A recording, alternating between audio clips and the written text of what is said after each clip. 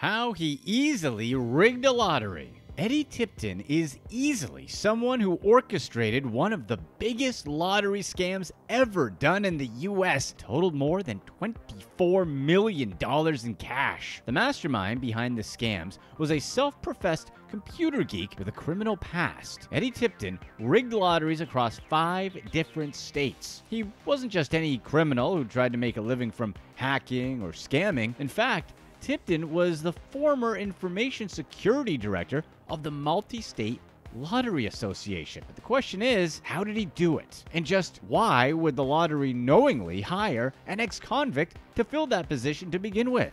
Long before Tipton started working for the lottery, this computer programmer had actually pleaded guilty in 1982 for his role in a warehouse burglary. He was only 19 years old when he faced up to 20 years in prison for his felony conviction. But the judge pretty much gave him a chance to turn his life around. He was instead given two years of probation and was ordered to pay over $1,000 in restitution. And this wasn't his first time turning to crime. Before his warehouse burglary, Tipton was also convicted for stealing computer software from a department store. According to Indy Star, Tipton told federal investigators that his software theft was a, quote, Jerry Springer style incident that was more of an argument with a Sears employee. Whatever Tipton meant, it just sounds like he was trying to downplay the seriousness of his crime. He was given six months in jail plus probation. But his crimes didn't matter. Well, not to lottery officials, anyway. Tipton actually never expected he'd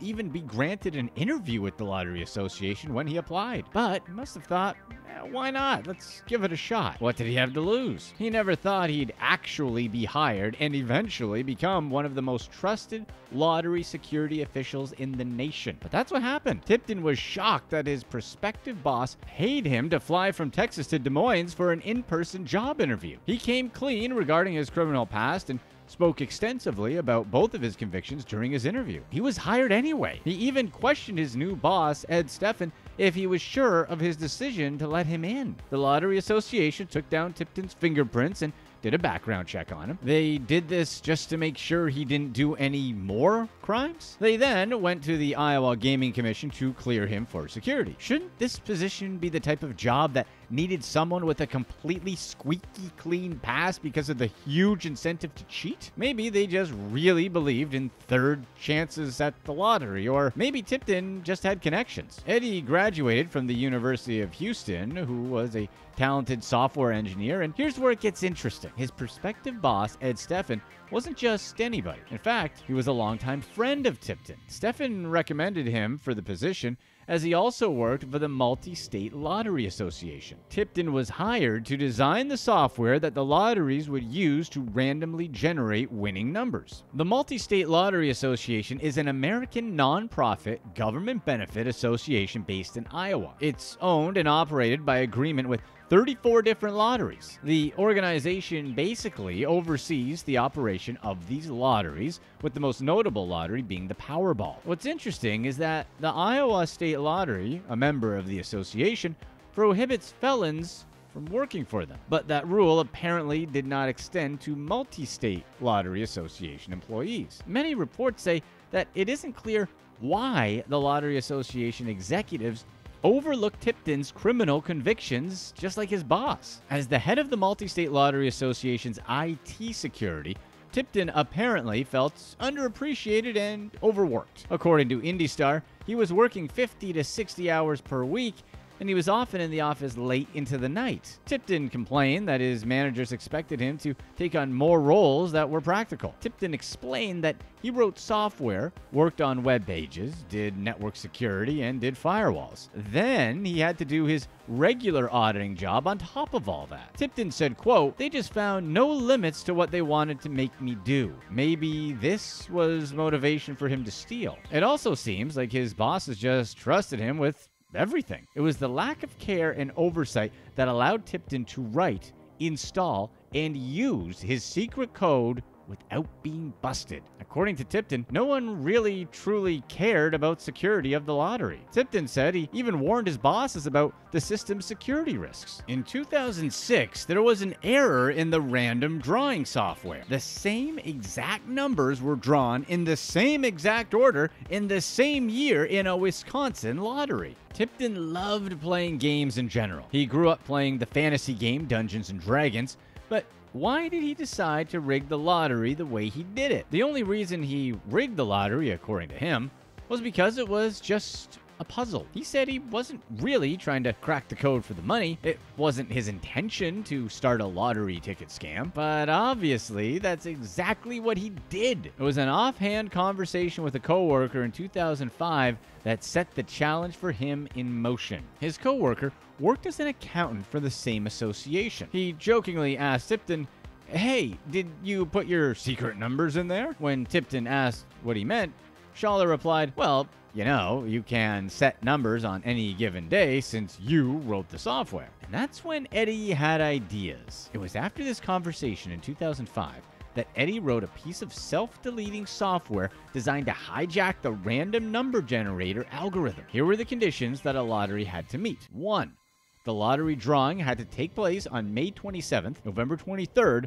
or December 29th. Two, the lottery drawing had to take place on a Wednesday or Saturday. Three, the drawing had to take place after 10 p.m. Of course, these conditions meant that Eddie didn't rig every lottery. It was a rare occasion that all three conditions were met. But when they were, the software would produce winning numbers using an algorithm that Eddie came up with that he would be able to solve. For nearly 10 years, the software allowed Tipton to rig the drawings for different lotteries. Tipton was one of the few employees who were allowed access to the random number generating computers used in the drawings. He tampered with the security cameras just for extra security on his end, anyways. Then he installed the code and waited for the lotteries to match the conditions he set. With the algorithm he came up with, it improved his odds of winning from 5 million to 1 down to 200 to 1.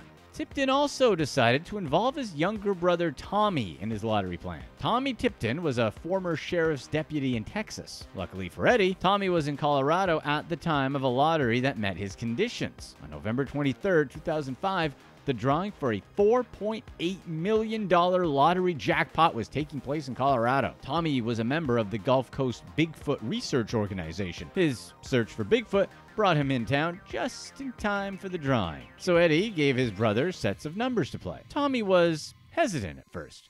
He consulted his friend Louis Vallejo, a Texas defense lawyer. Tommy wondered whether it was legal for him to play the sets of numbers given to him by his brother. Even though Eddie worked at the Lottery Association, Vallejo encouraged Tommy to play the numbers because he couldn't find any reason why it would be illegal. Let's cue the memes for if this guy is your lawyer, you're probably going to jail. So Tommy bought the lottery tickets. Surprise, surprise, he won the big prize. He asked his friend Alexander Hicks to cash the winning ticket in exchange for 10% of the winnings. There were actually three winning tickets for the $4.8 million prize. One of them was an easy pick ticket that was a legitimate winner. The other two winners were tickets manually entered with the numbers Eddie came up with.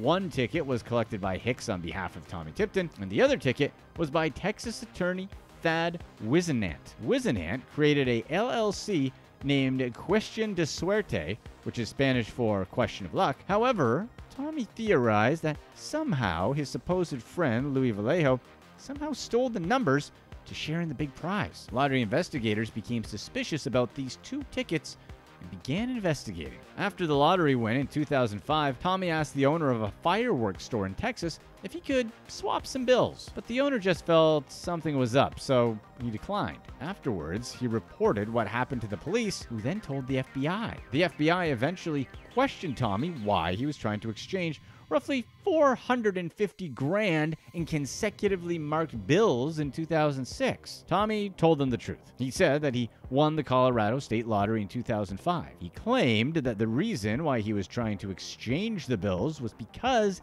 he couldn't tell his wife about playing the lottery since gambling was against her Christian faith. That explanation was good enough for the FBI. They never investigated further to make connections about Eddie. And of course, Tommy never voluntarily shared that information either. Eventually, the FBI dropped their investigation and the Tiptons were able to resume their lottery scheme. In 2007, Eddie approached former colleague and close friend Robert Rhodes. They ended up partnering on a Wisconsin Megabucks drawing that met Eddie's conditions. Eddie gave Robert hundreds of sets of numbers and told him to play them all. They won over $700,000 from the December 29th drawing. Robert created the company Delta S Holdings LLC to collect the money. Everything seemed to go smoothly for another three years. In 2010, another lottery in Iowa met the same conditions Eddie set. This time, the jackpot was worth 16 and a half million. Everything was the same this time except for one thing. Tipton made the dumb move that ultimately exposed his scheme. He bought the hot lotto winning ticket himself. Just why? He could have easily gotten someone else to buy it. Our theory is that some strange hiccup must have happened for Eddie to take this risk. Of course, when Eddie bought the ticket, he was caught on camera. But he was sure that Rhodes could claim that it was him in the video. So he told Rhodes again to cash in the inevitable winning ticket. And here's an important detail Eddie had specifically told Robert to not wait until the last minute to claim the prize. That's because if he waited until the 11th hour, that's when everybody would be interested in finding out who exactly the winner was. But Rhodes ignored Eddie's instructions because he had his own plans. For months, the Iowa lottery officials publicized the win in an effort to get the winner to come forward, and Rhodes kept on waiting. Lottery officials announced that they had footage of the winner buying the tickets. Lottery officials received a lot of calls from people claiming that they had won the lottery. None of them was able to show proof of the ticket. On December 29, 2011, a local attorney representing a local trust showed up to claim the win with less than two hours to go before the deadline. And this was planned out all along by Rhodes. However, the Iowa State Lottery doesn't allow anonymous winners under any circumstances, so officials refused to do a payout unless someone came forward and revealed themselves. After a month of going back and forth, the jackpot claim was withdrawn. Eddie most likely knew that it was either give up the money or risk going to jail. Obviously, this was completely unusual, so lottery officials launched a lengthy investigation. After three long years of investigation, lottery officials still had trouble connecting anyone to the lottery, so they decided to release the footage of the person buying the winning ticket. Ultimately, it was one of Tipton's own co workers who recognized his voice on the footage and reported him to the authorities. Eddie told investigators that he was in Houston when the purchase took place. But what he didn't know was that they had a cell phone records placed him that day in Des Moines, the location where the ticket was bought. On January 15, 2015, Tipton was charged with two counts of felony fraud. The first count was fraudulently redeeming a lottery ticket, and the other one was for influencing the lottery through fraud, deception, or tampering with local lottery equipment. While he was found guilty of both charges, his defense filed an immediate appeal. While the appeal was pending, investigators continued their investigation. Prosecutors eventually connected four more fraudulent wins to Eddie that totaled more than $24 million. In 2017, Robert Rhodes also pleaded guilty to charges related to his role for the 2010 Hot Lotto drawing and the 2007 Megabucks drawing. In order to get a reduced sentence, he agreed to testify against the Tipton brothers. Rhodes was sentenced to six months of home confinement and was ordered to pay $409,000 in restitution. On June 12, 2017, Eddie Tipton pled guilty to his two felony counts and also for computer crime. He was sentenced to up to 25 years in prison, but according to prosecutors,